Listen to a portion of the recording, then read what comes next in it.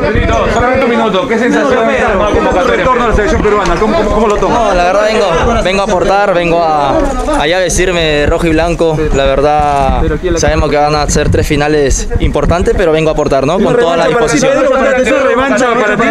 ¿Te sorprendió no estar en la anterior convocatoria?